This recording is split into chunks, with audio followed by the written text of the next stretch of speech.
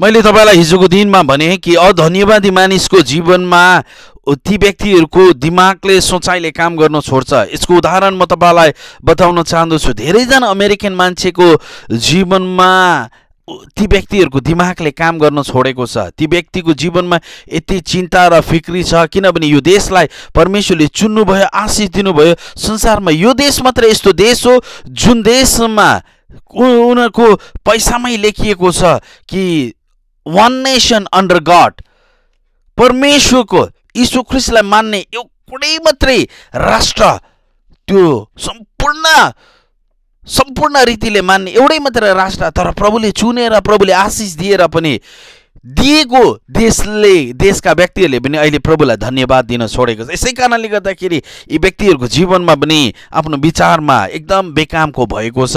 जब हामी अधन्यवादी मान्छे देख्छौँ नि तब हामीले सोच्नु पर्दछ प्रभु यीशु ख्रिस्टको आगमन चाहिँ अब नजिक हुँदैछ। मैले भनेको होइन यो बाइबलले भन्दैछ यहाँ। तपाईँलाई म बताउन चाहँदछु तपाईँको जीवनमा अधन्यवादी हुनुहुन्छ भने नि तपाईँले आफैले आफैलाई जाँच्नुहोस्।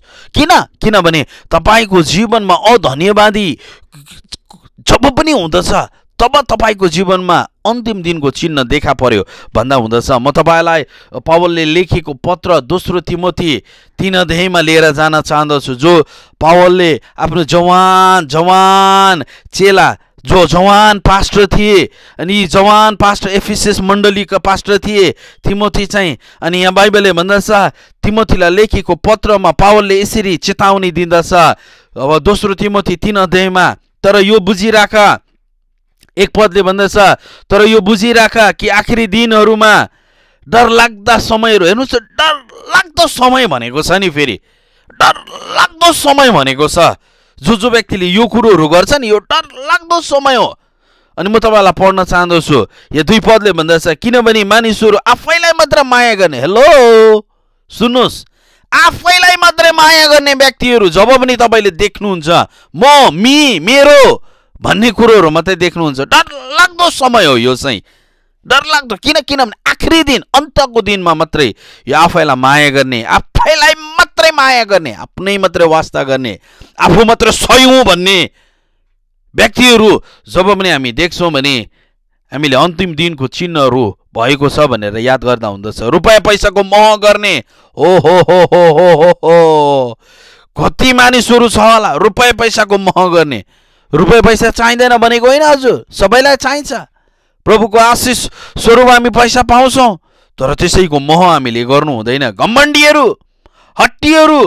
अनि मलाई सबभन्दा खतरा लागेको कुरो चाहिँ के हो त भन्दाखेरि यहाँ बाइबलले भन्दछ अरूको बदनाम गर्नेहरू। हजुर जति सुनिरहनु भएको छ म तपाईँलाई आग्रह गर्न चाहँदछु। कतिवटा कुरो तपाईँलाई मन पर्दैन होला तपाईँ पचाउन सक्नुहुन्न होला अर्काले गरेको कुरोहरू। तर तपाईँ अरूको बदनाम गर्ने कुरा नगर्नुहोस्। तपाईँ आवाज निकाल्ने कुरोहरूमा तपाईँ अरूलाई सुधार्ने योजना बोकेर हिँडेको व्यक्तिहरू हुनुहुन्छ भने पनि तपाईँ अरूको बदनाम नगरिदिनुहोस्। यहाँ बाइबलले के भन्दछ? आखिरी दिनहरूमा अर्काको बदनाम गर्नेहरू आमा बुवाको आज्ञा पालन नगर्नेहरू जवान जवानीहरू विवाह गरेकोहरू सुन्नुहोस्। आफ्नो आफ्नो आफ्नो आम बाउको आज्ञा पालन नगर्ने व्यक्तिहरूको व्यक्तिहरू हामी भेटाउँछौँ भने आखिरी दिनको अन्तिम दिनको चिन्हहरू हो। अनि यहाँ बाइबलले भन्दछ बैगुनीहरू अपवित्रहरू यहाँ नेपालीमा बैगुनी भनेको छ तर यही बैगुनी शब्दलाई इङ्ग्लिसमा अनथ्याङ्कफुल भनेको छ। सुन्नुहोस् है अनथ्याङ्कफुल जब हामी अन्तिम दिनको अन्तिम दिनको चिन्हलाई हेर्छौँ भने अधन्यवादी मान्छे पनि अन्तिम दिनको चिन्हहरू बाइबलले हामीलाई बताउँदछ। अनि मलाई सबभन्दा ताजुक लागेको चाहिँ यो जतिवटा पनि पाप लेखेको छ हेर्नुहोस् है आफूलाई मात्रै माया गर्ने रुपियाँ पैसाको मोह गर्ने र घमण्डे हट्टी अरूको बदनाम गर्ने आम बाउको आज्ञा पालन नगर्ने धन्यवादी नेपालीले के अरे बैगुनी भनेको छ तर इङ्ग्लिसले अनथ्याङ्कफुल अधन्यवादी मान्छे अपवित्र यहाँ बाइ बाइबलले भन्दछ कि यी सबै व्यक्तिहरू इक्वल्ली यो सबै पापहरू इक्वल्ली हो तर डेन्जर हो। यसले हामी के बताउन सक्छौँ भन्दाखेरि अन्तिम अन्तिम दिनको चिन्हहरू चाहिँ नजिक छ। अन्तिम दिनको चिन्हहरू चाहिँ नजिक छ। यस कारणले गर्दाखेरि धन्यवादी हुनुहोस् हजुर। धन्यवादी। प्रभुलाई जब धन्यवाद दिनुहुन्छ नि तपाईँ परमेश्वरको योजनामा योजनामा हिँडिरहनु भएको हुन्छ। कतिजना मान्छेहरूले मलाई सोध्ने गर्छ हजुर पास्टरज्यू म कसरी प्रभुको योजनामा कसरी प्रभुको इच्छामा छु? भनेर थाहा पाउने। जब हामी प्रभुको प्रभुलाई धन्यवाद दिन्छौँ नि तब हामी परमेश्वरको योजनामा पहिलो थिस्लो नि मा पावलले लेखेको छ जब जब तिमीहरू ख्रिस्ट यसु को नाउँमा पितालाई धन्यवाद दिन्छौ परमेश्वरको योजनालाई तिमीहरू पुरा गरिदिए परमेश्वरको योजनालाई पुरा गरिरहेका हुँदछौ। म तपाईँलाई एउटा खण्डमा लिएर जान चाहन्छु जहाँ यीशु ख्रिस्टले भन्नुभएको यीशु ख्रिस्टको दसजना कुष्ठरोगीसँग जम्का भेट हुँदछ। लुका सत्र अध्यायको एघार पददेखि जब हामी जब हामी उन्नाइस पदसम्म पढ्छौँ भने यहाँ दुष्ट दुस् यहाँ दस कुष्ठरोगी कुष्ठरोग लागेका व्यक्तिहरू चाहिँ गालिलको सिमाना भएर यीशु जाइरहनु भएको थियो। अनि यहाँ बाइबलले भन्दछ उहाँ एउटा गाउँमा पस्नु हुँदाखेरि दस कुष्ठरोगीले उहाँलाई भेट भयो। र बाइबलले भन्दछ चाँडैबाट उभिएर तिनीहरू चर्को स्वरले हे यीशु गुरुज्यू हामी माथि कृपा गर्नुहोस्! भनेर यी व्यक्तिहरूले भन्दछ। अनि चौध पदले भन्दछ लुका चौध सत्र अध्यायको चौध पदले भन्दछ तिनी उहाँले तिनीहरूलाई देखि तिनीहरूलाई देखेर भन्नुभयो जाऊ गएर पुजारी कहाँ आफैलाई देखाऊ। किनभने कुष्ठरोगी निको भएको छ कि छैन? भन्ने कुरो चाहिँ पुजारीले मात्रै बताउनु पर्दथ्यो पुरानो नियममा चाहिँ तर अहिले चाहिँ अब त्यस्तोहरू छैन। तर यहाँ बाइबलले के भन्दैछ? तिनीहरू जाँदा जाँदै नै निको भइहाले। हेर्नुहोस् है निको भयो भनेको छ। तर इङ्ग्लिसले भन्छ they way cleans well well they walking उनीहरू जब हिँडिरहेका थिए जाँदा जाँदै यी व्यक्तिहरू चाहिँ के भएका छन्? निको भएको छ। सुन्नुहोस् है यहाँ। यी व्यक्तिहरू निको भएको छ। तर पन्ध्र पदले भन्दछ तिनीहरूमध्ये एकजनाले आफैलाई निको भएको देखेर उच्च स्वरले परमेश्वरलाई महिमा गर्दै त्यो फर्क्यो। हेलो प्रभुले तपाईँलाई निको पार्नु भएको छ। तपाईँ अब प्रभुदेखि टाढा जाने होइन। प्रभुलाई चर्को स्वरले कराउँदै नै धन्यवाद दिँदै धन्यवाद दिँदै धन्यवाद।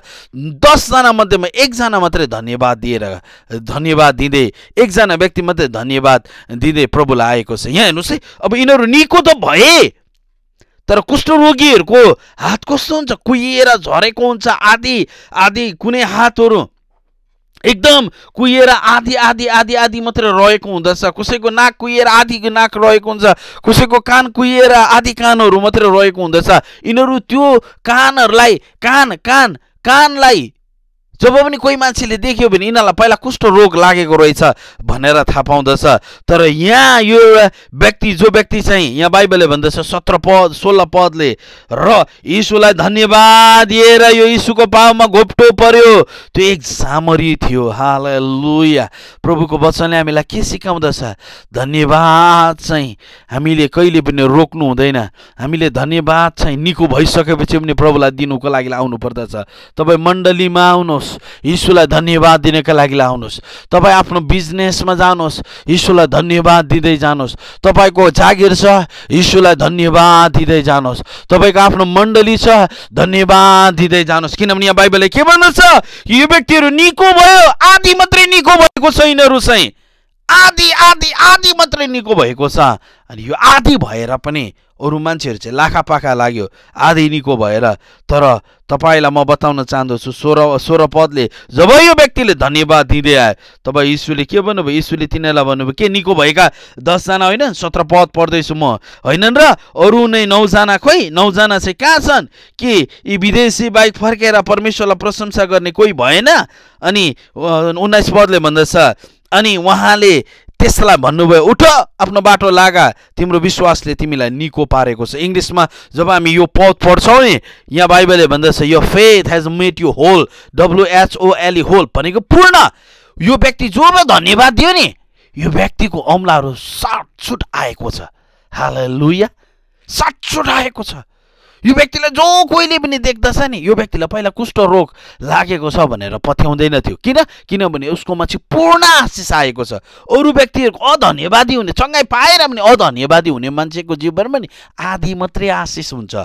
तर जो व्यक्तिले प्रभुलाई आशिष पाएर हो चङ्गाइ पाएर उन्नति पाएर पनि प्रभुलाई धन्यवाद दिइरहेको छ नि। प्रभुलाई धन्यवाद दिनुको लागि आउँदछ नि। तपाईँलाई म बताउन चाहँदछु ती व्यक्तिहरूले पूर्ण आशिष पाउनेछ। उनीहरू आदि आदि आशिषमा जिउनु पर्दैन। तपाईँलाई म यो कुरो बताउन चाहँदछु। तपाईँ र म आज के अलिअलि कुरोहरूमा आदि आशिषमा तपाईँले प्रभुलाई धन्यवाद दिँदै हुनुहुन्छ? यदि धन्यवाद दिँदै हुनुहुन्छ भने तपाईँलाई पूर्ण आशिषले होल ब्लेसिङले रोकिरहेको छ। तर यदि तपाईँले यो नौजना व्यक्तिहरूले जस्तै नै यी व्यक्तिहरू अलिकति सँगै हुँदै नै लाखापाखा लाग्यो भने यी व्यक्तिहरूले आदि आशिष मात्रै अनुभव गरेको छ। तर यो एकजना व्यक्तिले जसले धन्यवाद दिँदै आयो धन्यवाद एकदम महत्त्वपूर्ण। कम आशिष पाएर न लाखापाखा नलाग्नुहोस् प्रिय। ओ हाल लुया प्रभुलाई धन्यवाद दिनका लागि आउनुहोस् जब तपाईँ धन्यवाद दिनको लागि आउनु हुँदछ नि म तपाईँहरूलाई बताउन चाहँदछु प्रभुले तपाईँहरूलाई पूर्ण रूपले पूर्ण आशिषमा लिएर जानुहुनेछ र यो वचनद्वारा तपाईँहरूलाई परमेश्वरले धेरैभन्दा धेरै आशिष दिनुभएको होस्